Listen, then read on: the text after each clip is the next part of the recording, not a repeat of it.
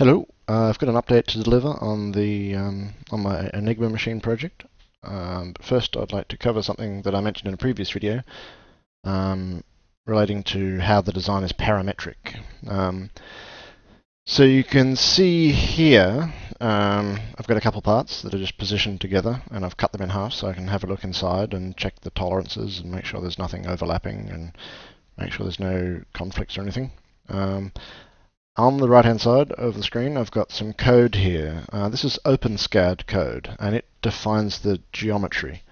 Um, now in OpenSCAD you define geometry with um, uh, primitive shapes like uh, we've got some cubes, some cylinders, spheres, and you can sort of make a cone with a weird cylinder. And um, you combine those together with various logical operations, um, like translate, which just moves it, or rotate, or scale. And you just mash a heap of different shapes together and apply different logical operations to them, and that gives you your final design. Um, so the design uh, incorporates a heap of variables. Um, so where possible, I've uh, made everything in the design to relate back to as few key variables as possible, um, such that these variables can be adjusted and um, the rest of the the rest of the variables follow suit. So that means that you can you can do pretty cool stuff. So for example, the screws that I bought um, they just happened to be on the shelf and cheap. Uh, had a, a 5.7 millimeter uh, radius on the head. That's the top bulby bit. So if I, for example, couldn't find 5.8 millimeter radius, I could um, buy some 4 millimeter radius. So I could just go into my design here and change this 5.7 here to 4 and save, and the design rebuilds. So you notice that the, the radius of the overall rotors changed, the spacing changed, everything inherited from that key variable. And as you can see, there's no there's no conflicts that resolve uh, that result as a, that come about as a result of this.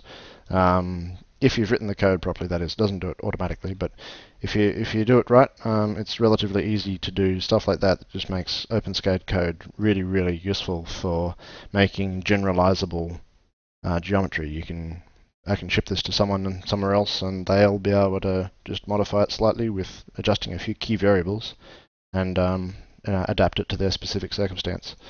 So let me just revert that change. Um, as another example, um, say you wanted to make an Enigma machine, Enigma machine that worked in some weird alphabet that, for example, instead of having 26 characters, uh, had, say, 30. Just change that and hey presto, all of a sudden you've now got 30 screws and you see the diameter increased slightly because there's a, it has to maintain this required separation here and um, everything else follows suit. So it's it's incredibly powerful. I'll change that back before I forget.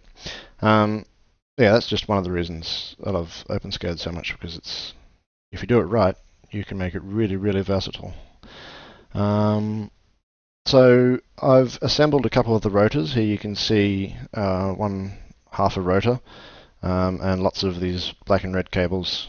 Um, I, I, actually, I was originally intending to um, put the wire through the hole and then put the screw in to get the electrical connection between the wire and the screw, but uh, a colleague of mine, Harry, mentioned that well, just asked, he assumed that I'd just be soldering to the screws, and I thought at the time, oh, don't be silly, it's steel, you can't solder to steel. But they're galvanized screws and coated with zinc, so solder sticks to them. So with the aid of a bit of flux, I managed to solder directly to the screw, which saved a whole heap of unscrewing and rescrewing. Um, unfortunately, this cable that I picked up first, um, the insulation on it is way too thick, um, and I couldn't actually get the second half of the rotor on. So I switched over to using some very small mod wire. It's actually uh, wire wrapping wire and um, painstakingly soldered all those on and I looked up a, a, table for the, the Wehrmacht rotor. Actually, that that's a rotor 1 type and they're common between the, the um, land forces and the naval Enigma. Um, but I soldered them all together and after a bit of finagling managed to get screws into it without crushing the cables. So now I've, I've got one authentic rotor and then I went through with the multimeter and beeped out to make sure that you know you connected to whatever you connects to. Um, but that's as far as I've got. I've only soldered up one of the rotors. Um, now I'll transition to reality and show you the rest of it.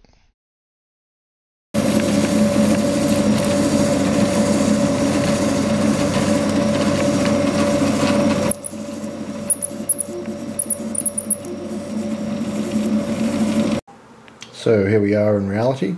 Um, I've assembled it to um, some board. Um, and so on the right hand side here you can see that part that we were looking at in OpenSCAD earlier and the, uh, the sleeve that goes inside it.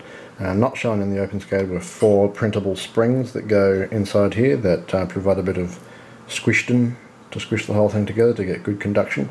Um, there's a very similar piece over here, but obviously this side's got the bumps and this side's got the pits, I think, um, from memory. Um, so I've got all the rotors here. I think that one is the one that I've actually got the wiring inside. Um, so my main concern and the main reason I assembled this was to test that uh, to test that the rotation would work as I had hoped.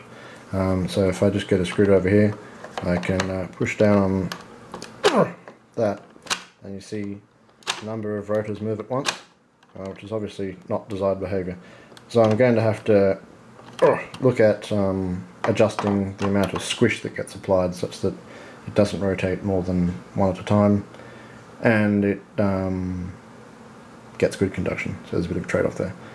Um, but that's just a matter of varying the strength of these springs. I'm actually looking at building sort of a slide arrangement. Very, oh, it's actually on this side. A slide arrangement very similar to the original Enigma, which had a little lever here that you could pull, and that would retract this part in here. That would allow the removal of the entire rotor uh, assembly, um, and that would allow me to adjust the tension on the fly. I'm also anticipating that um, this will wear in pretty quickly, and um, I'll be able to make it such that only one turns at a time. But very much a factor of um, how much force is on the end of it. Okay. Bye bye.